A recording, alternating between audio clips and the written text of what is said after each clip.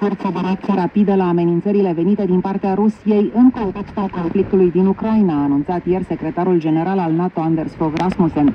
Va fi întărită prezența militară în Letonia, Lituania, Estonia, România și Polonia, fără să fie constituite însă bază permanentă în aceste țări, pentru a nu încălca actul fondator Rusia-NATO. Deciziile vor fi luate la summitul alianței care se va desfășura în țara Galilor pe 4 și 5 septembrie.